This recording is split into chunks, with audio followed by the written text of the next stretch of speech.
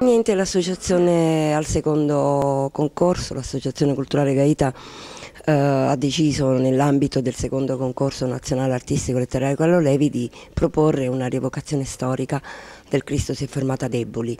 Eh, abbiamo coinvolto il regista Gaetano Stella che ne ha scritto, ne ha steso il copione e il maestro Tullio Gaeta che ha, ovviamente si è occupato delle, delle musiche e dei testi. Um, questo perché? Perché vogliamo uh, sensibilizzare uh, la lettura di questo, di questo, testo che riteniamo sia uh, ancora oggi molto ah, ma molto attuale. e ritengo che Carlo Levi abbia colpito per quanto riguarda il nostro meridione. Ci sono stati cambiamenti diciamo, da quando è stato scritto ad oggi? No, credo peggioramenti senz'altro, esatto, peggioramenti sicuro e quindi un regista di lunga esperienza che lavora da anni qui nel Mezzogiorno.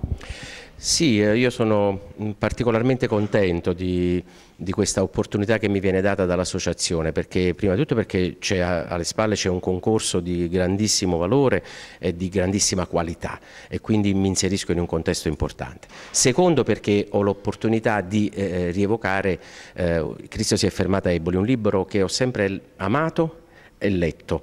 Ehm, una cosa che avevo già dentro da tempo, quindi poi quando ho conosciuto Tullio Gaeta, che è un musicista secondo me di, di rara emozione, di capacità emotiva, eh, e ho sentito le sue musiche, e le parole di Levi le avevo già dentro, è stato, devo dire, tutto sommato abbastanza facile.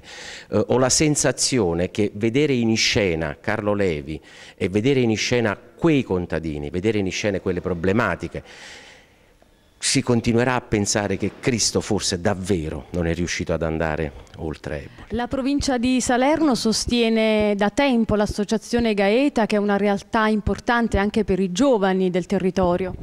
È una realtà che in pochi anni è diventato un punto di riferimento sulla questione meridionale innanzitutto perché l'associazione si è fatta promotore di un evento unico in Italia eh, che eh, partirà dal primo ottobre, quindi dalla ricorrenza annuale su un evento che credo che darà valore e spessore storico e culturale a tutto il mezzogiorno.